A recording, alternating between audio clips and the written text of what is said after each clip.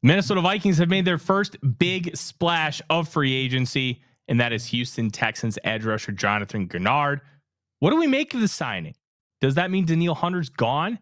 And what are the ripple effects that are going to form what is going to go on with the Minnesota Vikings defense here moving forward? Welcome to a special bonus episode of The Real Forno Show.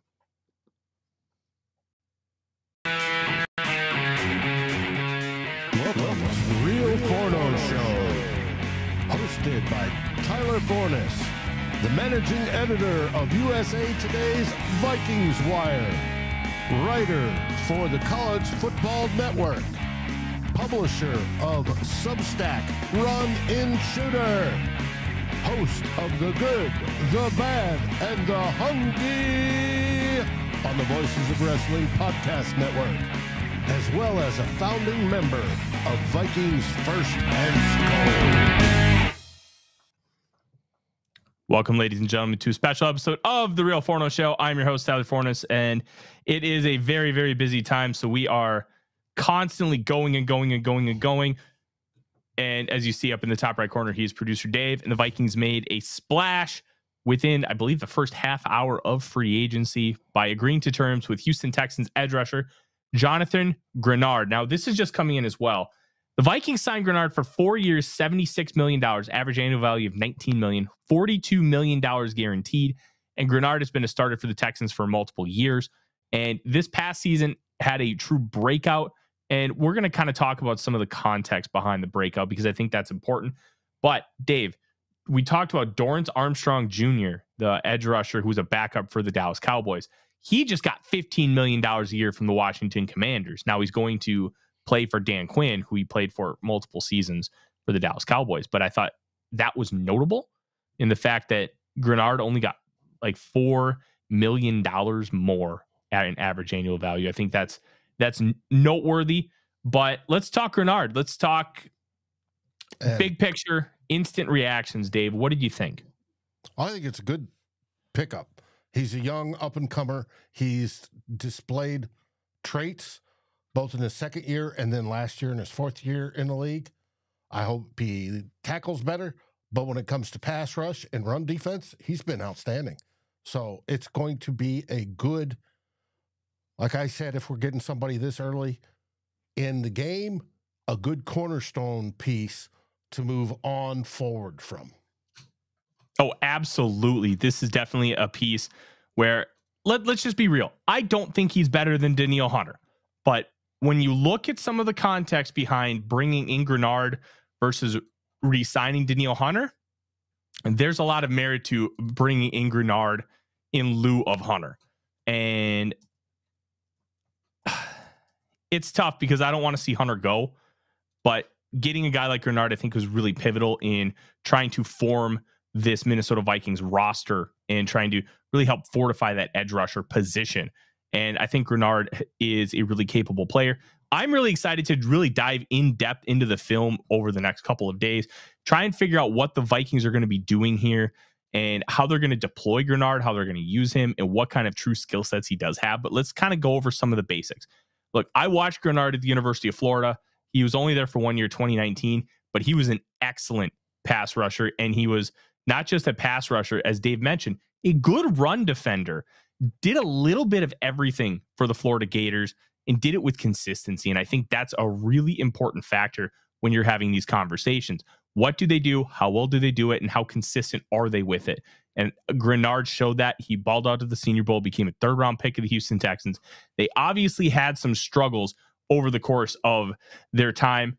Um, Greenard did in only 414 snaps, 215 them pass rushing in 2021, 27 pressures, eight sacks. He only had 167 pass rush snaps. I believe some of that was injury related in 2022, two sacks and 11 pressures. So he had a little bit of a dip. But this past year, only 440 pass rush snaps, 697 overall. So that's a good number for a defensive lineman.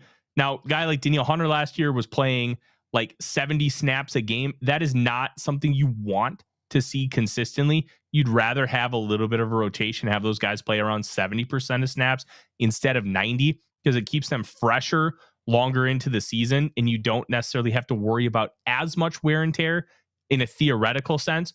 So 700 pass rush snaps, and especially with how that Texans team was structured, they had multiple guys. They kind of rotated some in and out, and they gave guys real rest. So 440 pass rush reps, 53 pressures, and 14 sacks. Here's why this matters more than it would for other players. The Texans didn't blitz. They had a blitz rate of around 20%. The Vikings had a incredibly high blitz rate. I think they were blitzing around 50% of the time by the time it was all said and done at the end of the season. If you're only blitzing about 20% of the time, one out of every five plays, that doesn't necessarily mean they're all pass rush plays. They could be run blitzes. So theoretically, let's say they're only blitzing 15% of pass rushes. You got to do a lot of work in a four man front like the Texans run in order to be able to generate pressure. And Greenard was able to do that. In ESPN's pass rush win rate, he was sixth in the National Football League uh, in that metric. Now, pass rush win rate is a little skewed because you have to win within 2.5 seconds. And a guy like Danielle Hunter gets a lot of his wins late in the rep, and he is able to really play contain and then be able to get to the quarterback. So I think that metric is a little bit skewed towards a guy who's a much more quicker style pass rusher, which is what Greenard is. But it's still a fantastic metric to kind of look at and see hey, this guy can get to the passer and he's got more than capable size. He's 6'3, 263. So he's going to have a similar but not identical build to what Danielle Hunter and DJ Wonnum were. He looks the part and the metrics look good. It's not a perfect signing. You're taking a little bit of a risk. I, I kind of relate this back to when the Vikings signed Everson Griffen to that first contract extension. Five years, $40 million he had never really started a game. And when you hadn't and you haven't actually started a game and you get that kind of contract, because let's remember, that was a big contract when he signed it. I believe that was 2013 because they had just gotten rid of Jared Allen. And that that's a big risk to take, but it ended up paying off in a big way. The Vikings are taking a similar-ish risk with Greenard, except Greenard has a lot more production than Everson Griffen did. But Griffen had those absolute freak athletic traits. Um, Mac Attack said he ran a 4 8. Look, the 4 8, whatever. What's the 10 yard split? That to me is what matters the most. And he gets off the ball quickly and he's able to bend the edge and win in multiple facets. 14 sacks is not a mistake. If you play get 14 sacks in a DeMeco Ryan style defense where you're not generating a lot of ec- external pressure, you're not generating pressure from blitzes or being super unique with a lot of scheme. You're winning. And Greenard being able to win with that form of consistency to me tells me that that's going to be able to translate, especially when you give him help with blitzes uh, coming into Brian Flores' defense. So I'm a big fan of the signing. I want to see how the contract is structured. Did they add any void years to the end to try and because they can only add one to spread out signing bonus money. Did they do that? Which I think would be a smart move considering how much the cap is going up and how much of that is going to come into play this year. Likely, I would project around like a 20 ish million dollar signing bonus, a minimum salary. I'd say he probably costs around five and a half million dollars on the cap, but we're not going to know that until at earliest Wednesday night, probably not until Thursday or Friday. And that could really impact how the Vikings are going to structure the rest of free agency. And yes, we're still waiting on Kirk Cousins, which is the big domino to fall in all this. But overall, I'm a big fan of the Greenard signing. I think it's you needed to get talent into the edge room. You get a guy who's going to be 27 years old when the season starts. He has a May 25th birth date. And you get young guys. This is what Kwesi Adofo-Mensah has been doing, signing young talent in free agency. I think the oldest free agent he signed outside of like, hey, you're just going to be a backup depth piece was Dean Lowry, and Lowry was 28. So this is kind of right out of the Kwesi Adofo-Mensah playbook. And I'm a big he fan of this. Sign our Pro Bowl long snapper. That's uh, that's not a free agent signing. That's a re-sign. Uh, so I'm not counting that. And okay. even so, that's like a, that's like a depth piece. That's not. Hey, we're gonna sign you to become a next level player for the Minnesota Vikings. You are an important asset to the team, but you are not the asset to help take us over the top, which is what you want to do in free agency when you spend big money. Like Josh Oliver was a good money contract, 26 years old. Byron Murphy Jr., good money contract, 25 years old. Uh, Marcus Davenport, good money contract, 27 years old. So he's taking these signings, and I, I, I can't remember who it was. I think it might have been uh, scholarship on Twitter who who writes like these really in depth Vikings analytics pieces. He's really good at it too. He talked about how in baseball, uh, when the advent of analytics really became popular and started revolutionizing the sport, they thought the peak in Major League Baseball was like 30, 31 years old.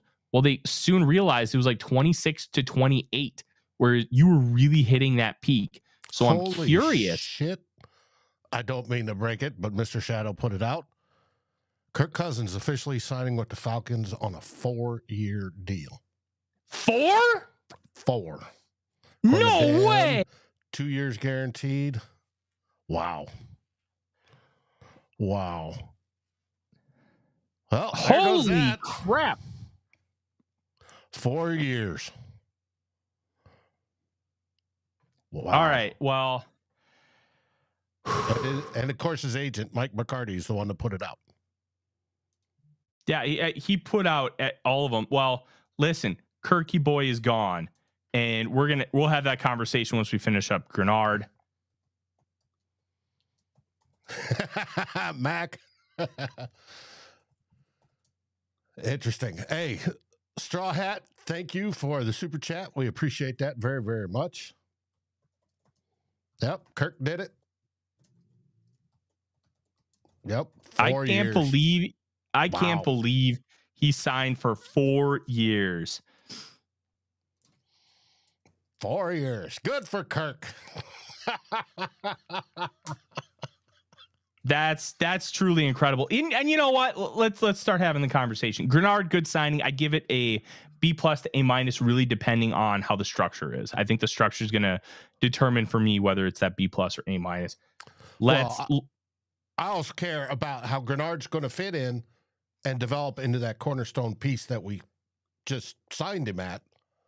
I think it'll be a good deal overall, but we never know until we see him on the field. So, yes, I agree. B Mhm. plus, not bad. Yeah, and I I think it's good. Um, I this this is a this is a really difficult one for the Minnesota Vikings. Like you just lost your starting quarterback, and this isn't a starting quarterback. Like you didn't lose Case Keenum.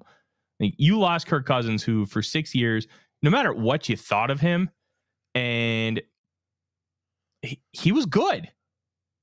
He was a good football player. And I think that was that was evident throughout the course of his time with the with the Minnesota Vikings. And look, it didn't work. He was supposed to be a mercenary and he wasn't. He didn't end up doing that for you because you wanted him to come in and win a Super Bowl. Look, it didn't work. It didn't happen. But he played really good football in the last two years. It looked like he was the quarterback that was supposed to happen for the Minnesota Vikings when they brought him in. He looked the part. He looked comfortable. He looked like he was believed in by the coaching staff. He didn't have Mike Zimmer like beating him down year after year, game after game in press conferences, just belittling him. And you look at all these different factors, it's those those things all matter. But the Vikings wanted to move in a different direction. They wanted to move for a younger quarterback, and now they're going to have to. They're going to bring in a quarterback with some form of youth, and they're going to get one in the draft. Now, here's the caveat we're going to have to figure out, Dave. Does that mean that they are going to have to trade up? Are they going to be able to trade up? What conversations has Kwesi Mensah had? I want to know those answers because the conversations that he's had are, are going to be really, really key in determining what the future is for the Vikings team right now. We're going to know more as time goes on, but we don't know everything right now. All we know is that Kirk Cousins has officially agreed to a four year contract with the Atlanta Falcons. Um, and it, it shouldn't be too big of a surprise. We kind of knew this was coming, but I we don't know the details. We just know four years. I think Dave, you said two years guaranteed. Um, I haven't seen any contract details come in yet. That's going to be It was put out by his agent on Twitter. well, yeah, but uh, the only thing I've seen from his agent is that it's that he's signed. Mhm. Um, just a four year deal. I haven't seen anything on guarantees. I haven't seen anything Right. on I money. only saw the one on the two years guaranteed. But it depends on the money. And we'll get more on that as the day goes on, I'm sure. And then as the week goes on. Yeah. No, we absolutely can. can. it till Wednesday, and then it has to go to the NFL. It's all got to be approved. Mm-hmm. There's a whole process that all that rolls through, and then it'll hit Players Association website. I believe is where it gets stashed, and then OTC and the other cap site will put out the specifics. Now there'll probably be some leak stuff before then, but that's the general process. Mm-hmm. And luckily for me, I was smart enough to pre-write a piece, so I just have to fill in a couple details. Holy crap. I can't Oh. believe it finally happened, Dave. It finally You need to do happened. I'm going to have to edit this stuff on YouTube to add him to this show. It's uh, Hey, it is what it is. that is look, th- this is this is wild. It's all happening in real time. And But you are 100% correct. The Vikings right now do not have a starting quarterback. Right? There's not one on the roster, unless you want to call Mullens that. Mhm. They're the league knows and has known, it's not been a big secret that they're going to go for a quarterback in the draft. So they're sitting at 11 and very well, most likely, have to trade up to get said quarterback if they want one of the top four guys. So Yeah. the price of that probably just went up. That's probably the quarterback tax, as we call it, when you're trading Mhm. up in the draft. That just went up. Now we heard way back in Mobile that you know the seed was planted with New England. Well, we don't know if that seed will come to fruition.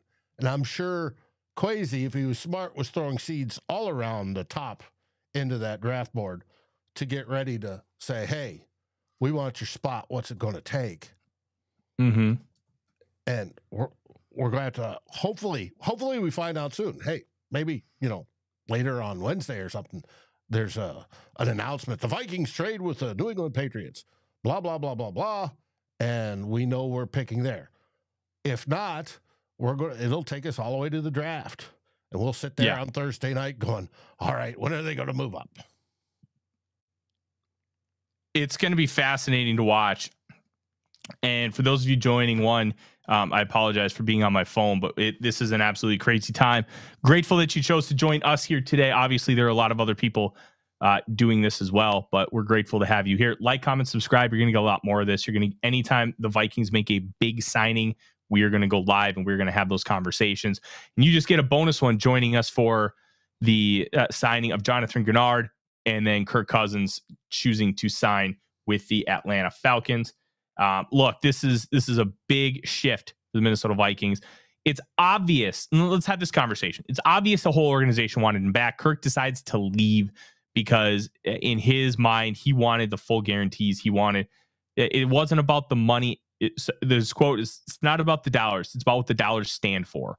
And to him, that means I want guarantees. I will like he'll take less average annual value to get more guaranteed cash in his pocket. So if a guy offers you $100 million for only 50 million guaranteed, guy two offers you 85, but all of it guaranteed, you may take the 85 because no matter what, you're walking away with $85 million. So to me, that matters in this context, and that matters with Kirk Cousins. That matters when you're having this discussion. But the entire organization seemed to want him back. The only one that was really, and Kwesi did too, but he's like, it has to make sense for us. And it didn't. And now Whereas Harrison Smith last year took a pay cut so he can continue Yeah. believing in the team. Yeah. Um, Dianna Russini from The Athletic reporting that the Vikings are likely to go after Sam Darnold to play quarterback. I get it. We'd heard I those hate it. rumors. I hate it. I think Sam Darnold sucks. I'd rather just roll with Nick Mullens, and I think I'm in the minority on that. I'm intrigued by Justin Fields. Uh, Fields was not good in Chicago, but they also put him in a disaster zone with really poor surroundings and an offensive coordinator that didn't know how to scheme up plays. The play designs on a lot of those, you want to use good spacing where you have like guys high and low in like a certain area of the field, utilizing levels, your short, intermediate, and high utilizing that proper spacing. He didn't. There are multiple uh, play concepts where guys end up in the same spot.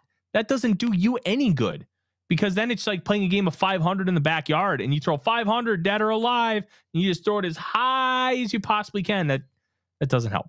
So, like, I don't really know if Fields can ever be anything, but I know Darnold never will be. But he he did look to be improved in the short time that he had with the San Francisco 49ers. So I kind of get it. Uh, I kind of get that. Hey, he has this baseline where he can be solid enough. Um, and it, what's really interesting is uh, the Vikings host the Atlanta Falcons mm-hmm. this year. They will host them, which is incredible. Um, yeah, down there he'll get to play against the Falcons or against us and against Washington, if I do believe correctly. There's going to be mm-hmm. some grudge matches. Yeah. Man, we've been waiting for this day for so long, Dave. It's absolutely wild that we're finally here. Um, that also means that the Vikings cap situation, as far as Kirk Cousins, will not change. It will be twenty eight point five million in dead cap this year. Mm-hmm. And now, now the biggest uh, hurdle right now is what happens with Daniel Hunter. Kirk is mm-hmm. gone. That means the Vikings could still bring back Daniel Hunter. There was always the ability to bring back both and sign another big time free agent. Everything matters with structure.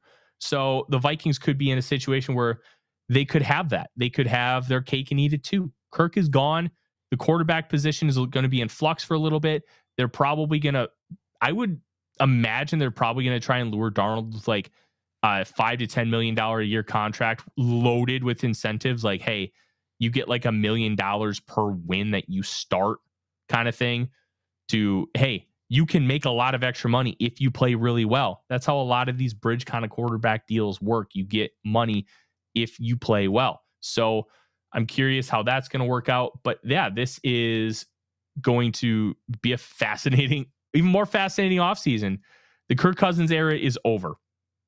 And we're going to have a ton more on it tonight. Uh, it's going to be it, it's going to be it's going to be a fun show tonight. Let me tell you, Dave, I'm going to have a lot of beer on the show tonight. well, I it's going to be breaking good. out the tequila. I, I I'm not going to lie. I almost uh, left camera and went and grabbed a beer when you broke that news because it's a big deal. Um, oh, it's a huge deal. Now, yeah, 10 years from now or so, we'll probably be welcoming Kirk Cousins back into the Ring of Honor because he mm-hmm. did finish second highest in stats, something he's very good at for the Vikings. But as of right now, he is now going to be an Atlanta Falcon and uh, agreed to terms to a four year contract. We'll get the details later as they come out, and we're going to have fun. Mm-hmm. And LA Nope says he couldn't be more excited for the draft. I agree, LA. I agree. Oh, I can't wait for the draft. And sorry, I'm in the midst of doing 5 million different things, I still have to write a bunch of stuff for Vikings Wire here later today. Look, the Vikings are in a massive shift. I will say that I think Bo Nix is not the franchise quarterback. Um, I think Michael Penix maybe could be. I, I that's possible. Um, I I think they're going to do everything they can to try to move up. I think by not being more aggressive with Kirk. I also, here's my other theory. They knew they were screwed when it came to Kirk Cousins because there's no way you pound out a four year deal this quickly when it comes to a guy like him. You, th- I think they knew oh, that he was been working on this for a long time. Mm-hmm. They've been working on it for a while since the combine. So that is, it is what it is. And all the best to Kirk Cousins, all the best to his family. They're going to be in Atlanta, where Julie is from. Um, mm-hmm. apparently, there was a Reddit post earlier today that said uh, um, they knew uh, Kirk's um, snowplow removal guy, and he told him that uh, he was no longer his services were no longer necessary. Oh, that's Uh-oh. tremendous. It's tremendous content, Dave. It's Uh, it's phenomenal. Mary, let me know when, and I will uh, enjoy something with you. Oh yeah, we we will be drinking on the show tonight responsibly because we don't have to drive anywhere. We're in our homes. And I still And- got to click the buttons. Yep, with a lot of fun. So, hey, you know what? If like we already got a five dollars super chat, if we can get we can get thirty dollars more in super chats, I I will rip a few shots tonight, and we will have a little extra fun. I've got a bunch of bourbon that needs to be drank. I will I will just line up some shots and I'll rip them like I'm in a frat house. We'll we'll have a good time tonight, guys. uh huh. We will have a good time. Oh, apparently the Philadelphia Eagles are getting Saquon Barkley. Oh, yeah. I Which- heard that rumor that that may happen. They were very interested. So, anyways, with that, what do we say, buddy? Skol Vikings, and we will see you tonight at six at the absolute latest. If something else breaks, we will see you earlier than that. Don't forget to like, comment, subscribe, and ring the bell so you don't miss a damn thing. Skol Vikings. Like, subscribe, and ring the bell to get notifications. It helps us grow this community that we all love our Minnesota Vikings. And on behalf of Tyler Forness and myself, Dave Stefano, thank you so dearly for watching the Real Forno Show. Skol, everyone.